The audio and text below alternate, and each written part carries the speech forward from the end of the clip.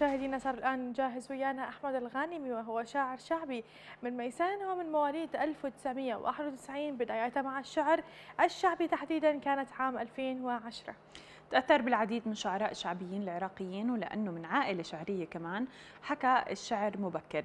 وعمل مقدم لأحد البرامج الشعرية وهو كمان المحامي والشاعر الشعبي الميساني أحمد الغانمي يسعد صباحك. أهلا وسهلا فيك. صباحكم الله بالخير وصباح الخير على كل العراقيين وعلى هذا البرنامج الرائع. آه، صباح دجلة وعلى جميع العراق والعراقيين. إن شاء الله وإن شاء الله تكون في أمن وأمان إن شاء الله. إن شاء الله يا رب. يسعد صباحك أستاذ أحمد منورنا. وبالبداية يمكن إحنا تطرقنا وذكرنا نقطة في المقدمة أنه حضرتك من عائلة شعرية يعني الشعر عندكم الشعبي بالذات؟ وراثة بالعائلة أو أنت آه، تأثرت بأحد معين؟ يا ريت لو نعرف البداية منه. آه، في البداية آه، أنا آه، شاعر آه، شعبي محافظة ميسان وبالخصوص قضاء الميمونة.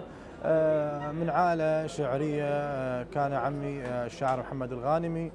سابقني في التجربة في آه، 86 يكتب الفصيح والشعبي وأخي الأكبر ضياء الغانمي شاعر شعبي.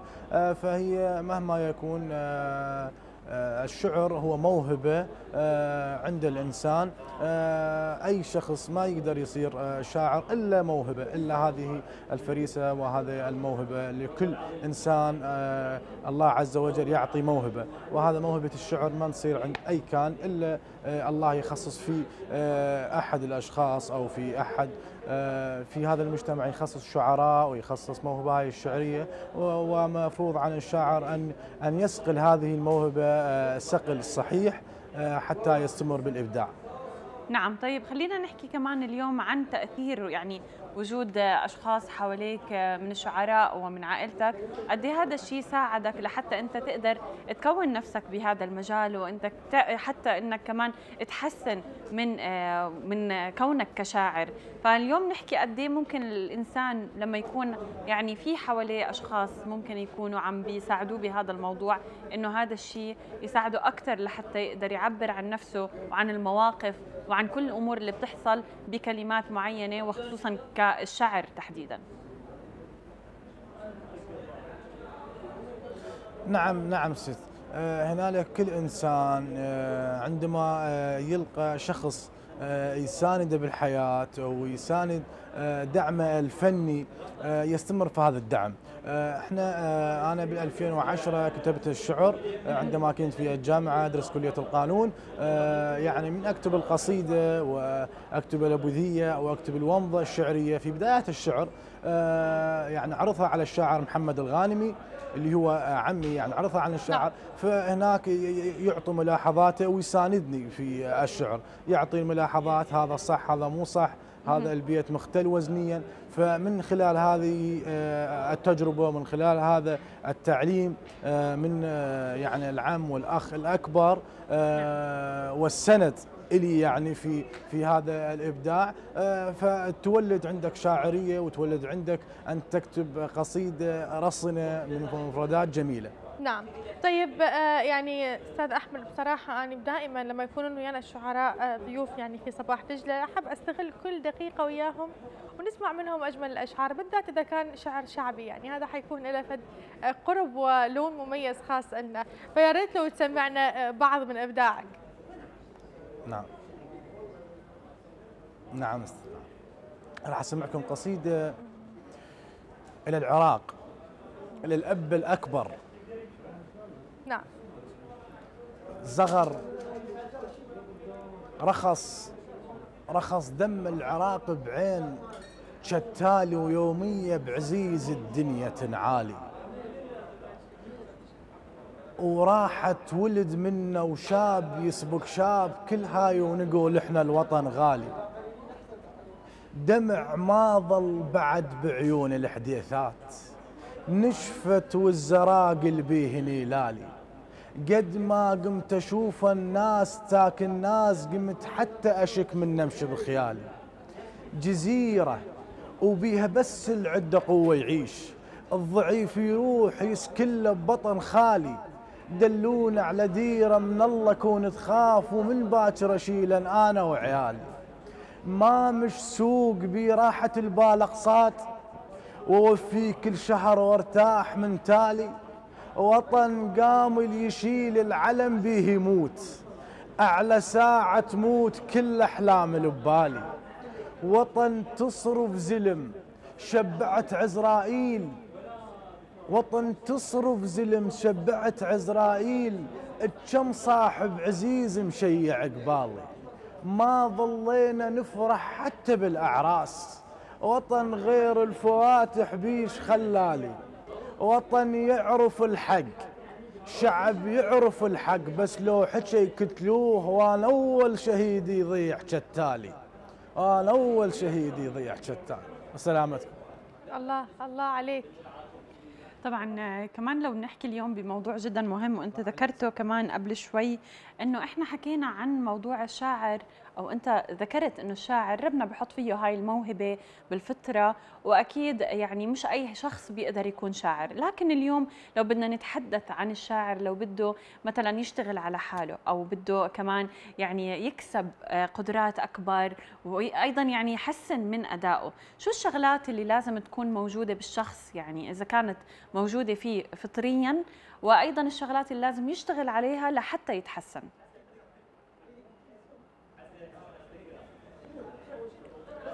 اولا نسيت آه، يكون كثير الاطلاع.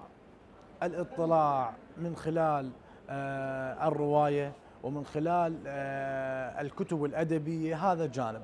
أما الجانب الثاني من خلال الاستمرارية ومن خلال الاحتكاك اليوم الشاعر عندما يحتك بشاعر سابقه في نعم. جيل أو أو أدباء مثقفين عندما يسمع وعندما يقرون إليه راح راح يقدر يصقل نفسه. ومن خلال الاطلاع ومن خلال المفردات الجميلة ومن خلال آه، النقد الأدبي. اليوم آه، الشاعر آه، إذا ما ما ما يشوف أكو ناقد أدبي فراح ما راح ينطور من من من من كلماته ومن ادائه اليوم أنت من تكتب قصيده يجب أن تكون اذا ناقد أدبي. هذا الناقد الأدبي راح اكو أكو ثغرات بالقصيدة راح يقدر يعني يطلع هذه الثغرات. اليوم مفردة غير جميلة أو وزن أو خلل في الوزن فعلى كل آه، شاعر أريد أن يحسن من أدائه ومن يحسن من مفرداته. يجب أولا الاحتكاك والاستمرارية والقراءة والاطلاع حتى يطور أدائه وحتى يطور آه، المادة آه، الشعرية أو النص في القصيدة يكون جميل. نعم. طيب اليوم لو تحدثنا عن واقع الشعر الشعبي بالعراق اليوم نشوف إنه هو تقريبا الأقرب للناس لأن مفردة مادته بسيطة وتصل للجميع وكل ممكن المستويات ممكن أن يفهموها وأن تصل لهم فشنو واقع اليوم الشعر الشعبي بالعراق؟ هل هو ماخذ الاهتمام اللي يستحقه مثل ما هو مكانته عند الناس؟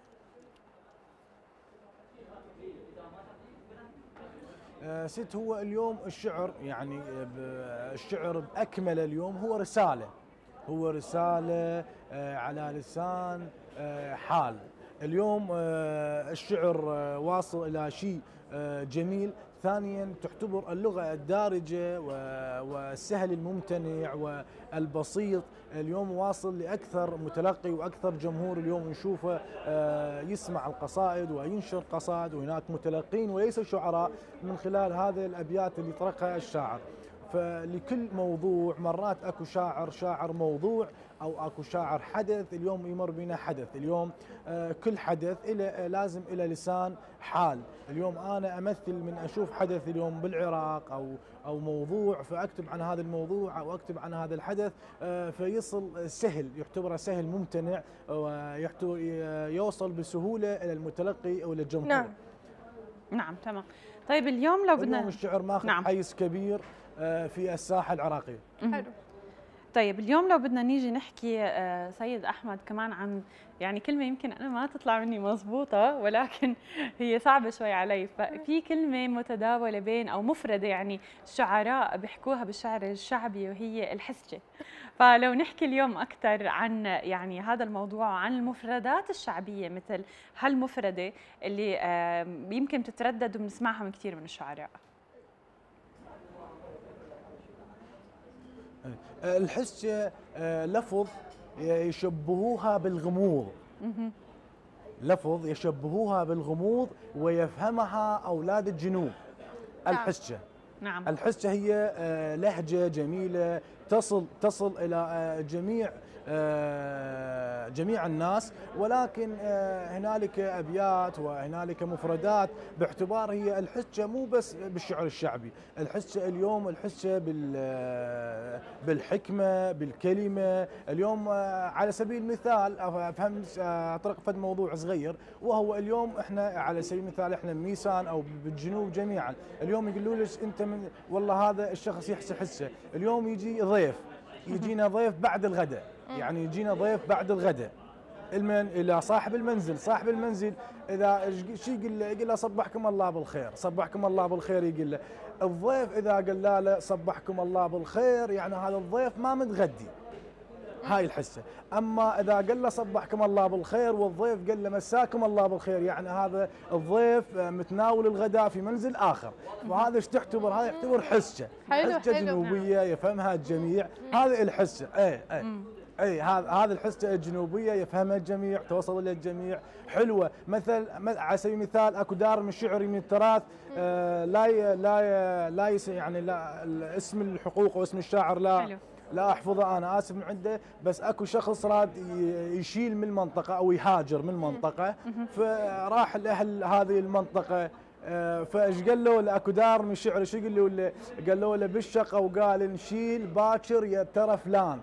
بالشقة وقال نشيل باكر ترى فلان طق طر الفجر والنور لا بالشقة بالشقة وقال بالشقة وقال فلان باكر ترى نشيل أي يعني راد يهاجر بالشقة وقال فلان باكر ترى نشيل طر الفجر والنوك كلهن مشاتيل يعني النوك اللي هن الرحيل واللي هن نعم. الهودجات نعم. يعني حلو. كلهن ما خلوهن قالوا هذا تعتبرون هذا يعتبرونه حسه حسه جنوبية توصل للمتلقي ويفهمها آه، عشائرنا الرائع. أكيد طبعا تحياتنا لهم جميعا.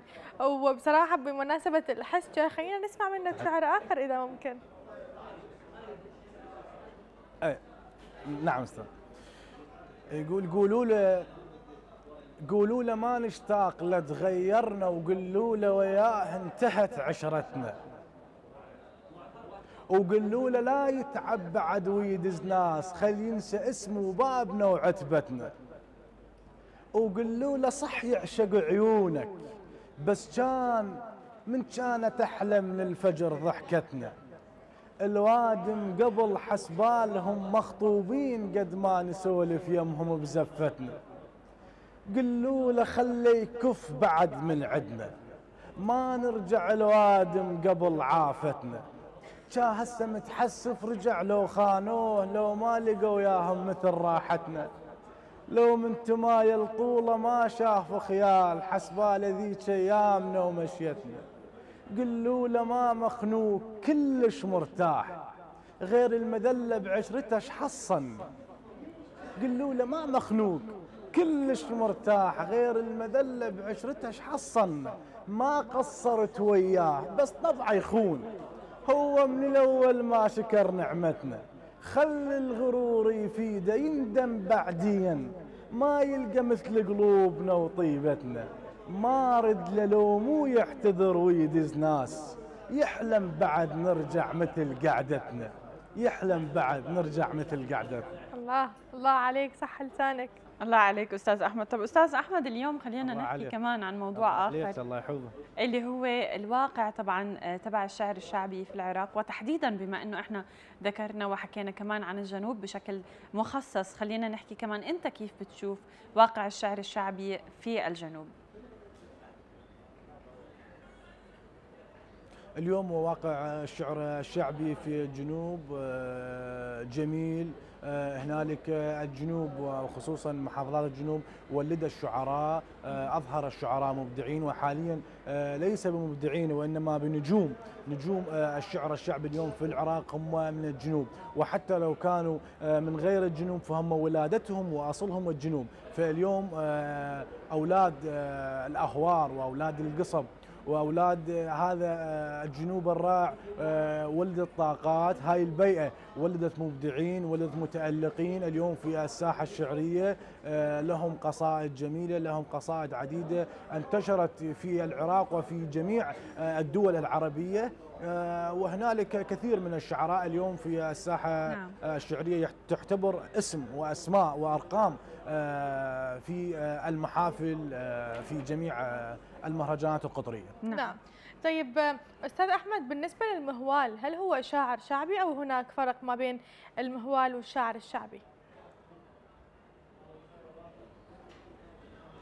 آه هو بيعتبر اللون لون الإهزوجة اللي هو باعتباره المهوال يقرأ لون الإهزوجة، الإهزوجة تعتبر تعتبر جزء جزء مجزء من الشعر الشعبي جزء مثل ما الشاعر يكتب آه، ألوان الشعر يكتب نصاري ويكتب دارمي ويكتب الميمر. آه، المهوى المختص بالهزوجه هي ثلاث أبيات ورباط يعني رباط باعتبار قفل. هذا نوع من أنواع الشعر. المهوال لا يختلف عن الشاعر. المهوال مبدع كما الشاعر مبدع ولكن المساحة الشعرية والنطاق الشعري العد الشاعر تختلف عن نطاق الشعر عد المهوال قلت لك الشاعر يكتب جميع الألوان نعم. ويكتب بصورة خيالية. آه، المهوال آه، يكتب آه، هذا النوع الهزوجه ولكن أبيات ثلاث أبيات تكون أبيات جميلة تصل إلى المتلقي بسهولة تكون لها حدث معين فيكتبها فتقدر توصل. اليوم المهاويل مهاويل رائعين وماخذين الساحة ويقرون بالساحة الشعرية اليوم ولهم أسماء يعني أسماء لهم بارزة.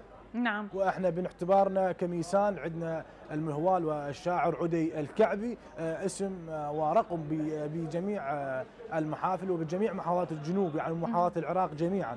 عدي الكعبي المهوال معروف واسم. طب ممكن تسمعنا شيء؟ ميسان والعمارة. نعم. العمارة ولدها. تحياتنا أكيد لأهلنا بالعمارة أنا اسمعكم قصيدة موقف. نعم. تحيات العمارة اليس قصيدة موقف. اكو آه، شخص تقدم على آه، بنيه أكثر من مرة. فيحبها وهي تحبه أكثر من مرة فما اعطوها له. نعم. مرة مرتين ما اعطوها له قالوا ما يعطيك إياها. فهي البنيه تحبه وهو يحبها. فعلى لسان على لسان هاي الفتاة تقول إلى حبيبها تعب خلق الموادع يلا خذني وياك. ما أريد بعد كل الخلق عفته. يا هيبة لسان من اسولف بيك وعلى زنود خيالك حرز لابسته إذا ما صير لك أطلع جنازة بيت وخلي الناس طول القبر شايلته من نذكر عيونك بيده مشط الليل لحد وجه الصبح واتخيلك أنت. أعرفك من تجي أشتم حرور الشوق وخجل ثقل الشفايف قوة حاملته من دورا ظهرتك رسمك وشم مدقوق وقل للناس ولفوا عمر رايت. اللي يظلم قسمة العباس حطه وياه. اللي يجبرنا غصب يتعثر ببخته بخت عندي يعثر يصم حلق الشيخ إذا شفت على غيرك تبدي سالفته. ضفير الشعري بيها الفجر خلى أسرار.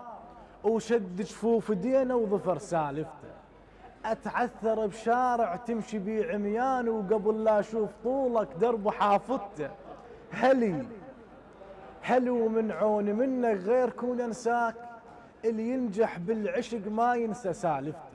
أعلى زندك راي دخفش تم هو العشاق من موتا راس بارد والفشا بكته. قمرة بالي بيها اسمك وشم مدقوق. وقل للناس ولفوا عمر رايته. قمرت بالي بيها اسمك ضوى مدقوق وقل للناس ولفوا عمر رايت. ضفير الشعر بيها الفجر خلى أسرار وشد جفوف دينا وظفر شالفته. من كشف زلفه تعرق قصة الحيطان الغيرك ما هويت وزلفي كشفته. انتظرك تجي ألبس وجه مسجون لحد ما طولك يفك سجن رايته على الشام تفوتا وظفران ولك حنية ليل وظفران الناس تحل شعرها وظفران لحد ما يظفر الجناز بي. الله الله عليك الله عليك أستاذ أحمد. فعلا نورتنا وشرفتنا وكان. لقاء جدا ممتع وياك وأكيد أتمنى لك كل التوفيق يا رب لك. آه، كل التوفيق لك ست ولا هذا البرنامج الرائع. ومن ميسان وخصوصا من آه، كوفي الأمراء آه، ميسان آه، عواشة شارع الدوريات وبدايه الأخ صباح الزبيدي. كما أشكر الأخ والحبيب حسن وحيدر الساعدي جنود المجهولين لهذا البرنامج والرائعين آه، أشكركم على هذا البرنامج وكل التوفيق لكم إن شاء الله. تحياتنا لك ولهم. أهلا وسهلا.